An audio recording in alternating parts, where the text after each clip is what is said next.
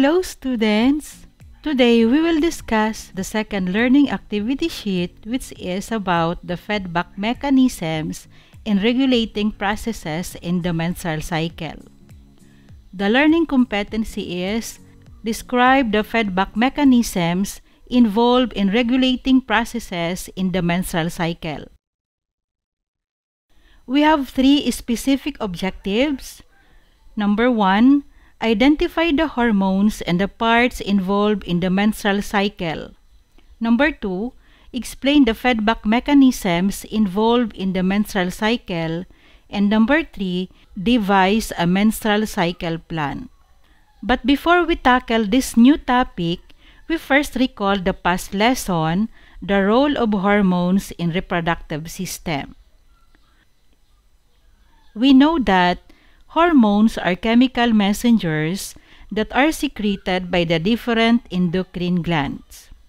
The hypothalamus in the brain secretes and releases gonadotropin-releasing hormone or GnRH, triggers the anterior pituitary gland to secrete and release follicle-stimulating hormone and luteinizing hormone, which in turn triggers the testes to secrete androgen and testosterone, and ovaries to secrete estrogen and progesterone. These hormones produced by the gonads, the testes and ovaries, influence the male and female physical traits and the production of sperm cells by the testes and maturation of egg cells in the ovaries. Let's start the lesson by answering the first activity. You will determine whether the following statements are true or false by writing fact for true statements and myth for false statements. For number one, period blood is bad blood. Number two, Girls should not do exercises and take a bath during menstrual period. Number 3. Periods come once in 28 days for all girls. And for number 4, girls should not touch anyone while menstruating. So I'll give you 5 minutes to answer.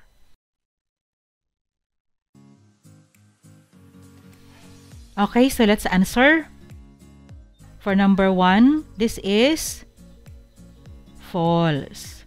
Period blood is not bad blood. Period blood is not rejected body fluid or the body's way of flushing toxins. Remember that menstruation is a natural function of the reproductive system. Then for number two, this is false. There is no reason not to take a bath during menstruation. A nice warm bath can do a lot to relieve menstrual cramps and premenstrual tension. Regular exercise helps to decrease painful menstrual cramps. Number 3. Periods come once in 28 days for all girls.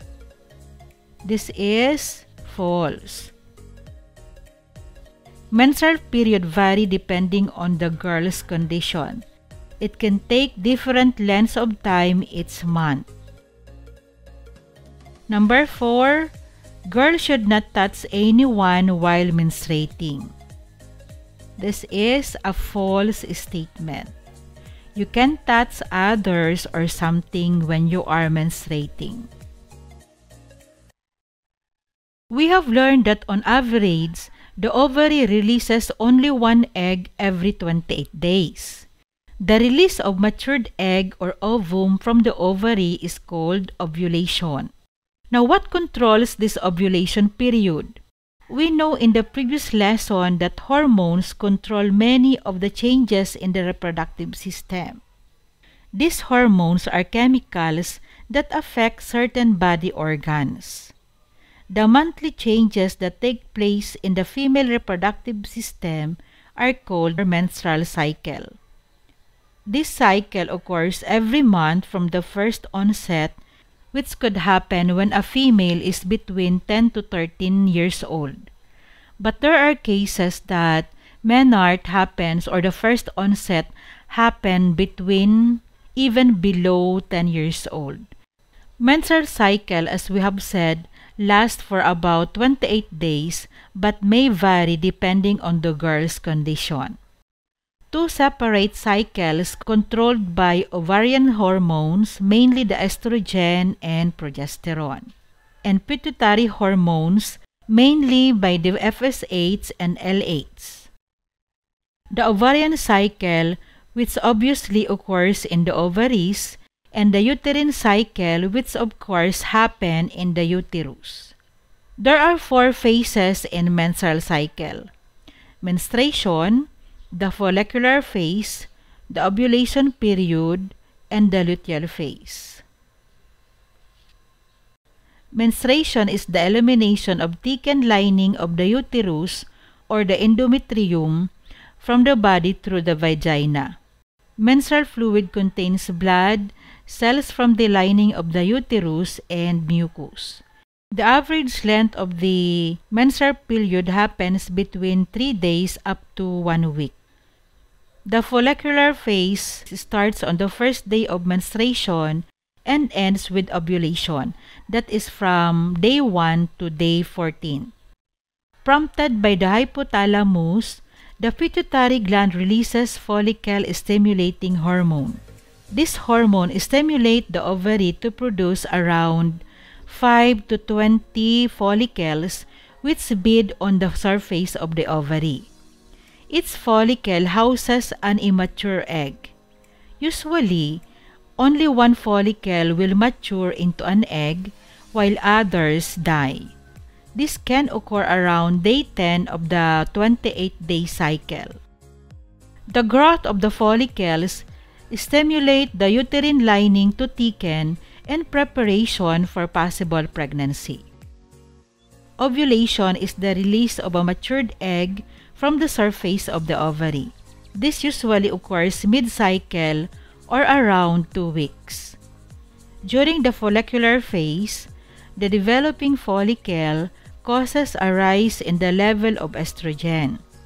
The hypothalamus in the brain recognizes these rising levels of estrogen and releases a chemical called gonadotropin releasing hormone or GnRH.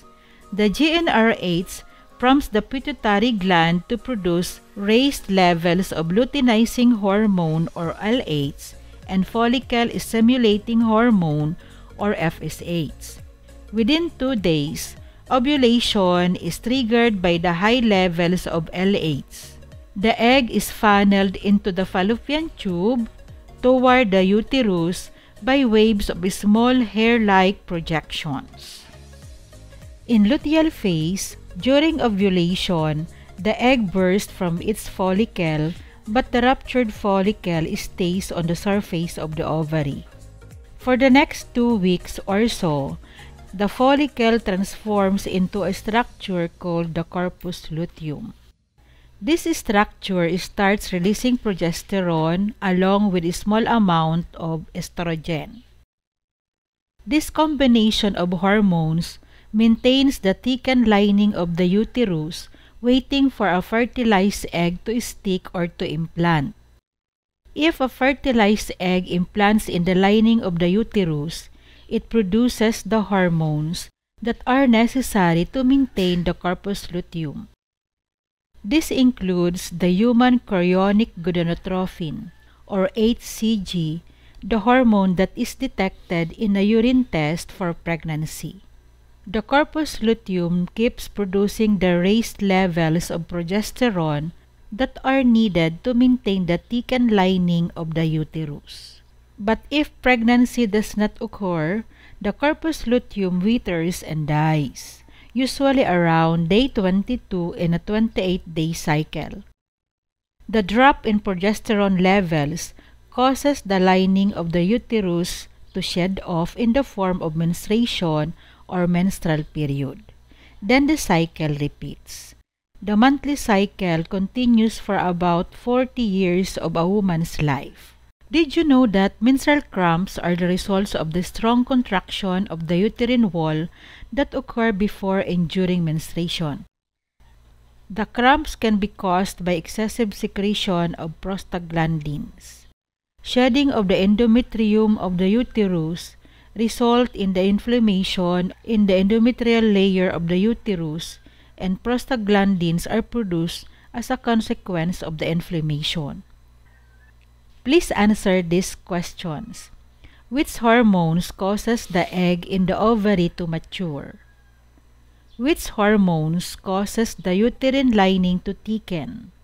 What will happen if the FSH is not released? And which hormones are responsible for menstrual cramps?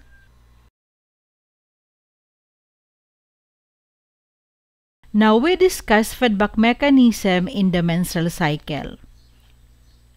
A feedback mechanism is the process through which the level of one substance influences the level of another substance.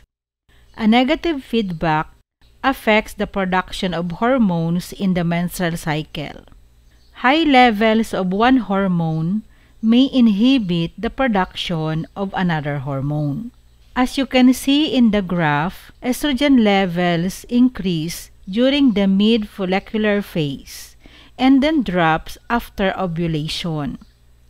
This is followed by a secondary increase in estrogen level during the mid-luteal phase with a decrease at the end of the menstrual cycle. Progesterone levels are often low during the follicular stage, but after ovulation period, progesterone levels go up for about 5 days before going back down. The FSH increases during the follicular phase since this hormone is needed for the growth of the follicles and decreases at the end of the follicular phase. The FSH rises during ovulation, then drops during the luteal phase. There is an increase in the luteinizing hormone during ovulation period. LH stimulates ovulation, which usually occur 16 to 32 hours after the surge begin. Then, LH decreases during the luteal phase. Please consider the graph to answer the questions that follow. Follicle stimulating hormone or FSH stimulates the ovaries to release estrogen. Based from the graph, what will happen if there is high level of estrogen? Estrogen also stimulates the release of luteinizing hormone or LH from the pituitary gland, which in turn controls the production of progesterone. Based from the graph, what will happen if there is high level of progesterone? And based from the graph, explain the relationship of ovarian cycle and uterine cycle. As an evaluation, you will devise a menstrual plan using the diagram below and the calendar. Please follow the procedure in your learning activity sheets. And also, don't forget to answer the guide questions. How long does a regular menstrual cycle last? Describe what happens to an egg during the first 14 days of the cycle in Part A. Describe what happens to the egg if fertilization occurs. Explain what takes place in the uterus after fertilization. And why is it important to study the menstrual cycle? To grade your work in the evaluation, we will use the scoring rubric found in your learning activity sheet.